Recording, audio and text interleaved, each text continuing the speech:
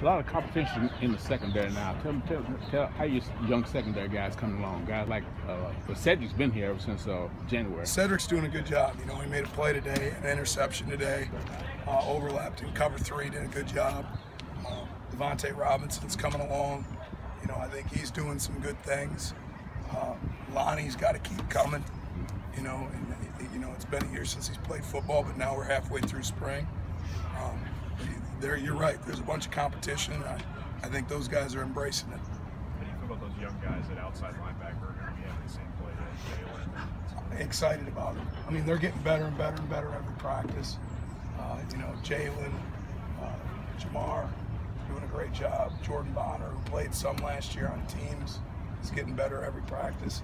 And those three guys are really competing, which is good to see. You seeing the leadership out of Adrian Middleton? Yeah, and we need to see more. I mean, we need to see more. Those guys up front, they set the tone. You know, uh, yesterday we didn't practice necessarily how we want to. I thought we were much better today. We came with a more physical mentality. We have better pad level. Where are the some of the other young guys on that defensive front that you're looking to step up more? T.J. Carter, uh, Kordell Looney, uh, Cross. You know, those are those guys all are going to play a role and need to keep growing.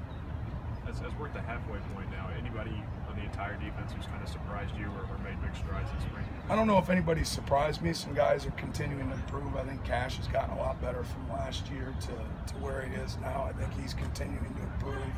You know, I think Derrick Baity's playing better uh, every day. Um, so there's a bunch of guys that are growing. I don't know if anybody necessarily jumps out as a surprise, but there's guys that definitely improved. We asked Eddie that question yesterday, and he said Denzel Ware is giving them tons of problems. Is there any guy on the offensive end that you've seen that you're thinking? Benny. I mean, I think Benny is. Uh, I told uh, Eddie the other day, Benny, the way he's approaching every day, he, he's doing a great job, and, and he's he's setting the tone on their side of the ball, in my opinion. You're also the second or third person to say something about Kash really making a jump.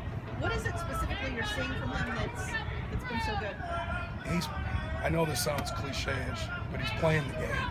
He's not just worried about running a defensive call. He's seeing more things. Uh, he's in better football position. It, it, he just looks a lot more natural out here. With Davonte moving to safety, what stood out to you? Uh, he's a guy that can cover a lot of ground. Obviously, he's fast. You know, he made a play the other day in the scrimmage, a big time play. Um, and I, you know, he played safety in high school, so I think it's something he's comfortable with. Anything else? Thanks, everybody. Thanks.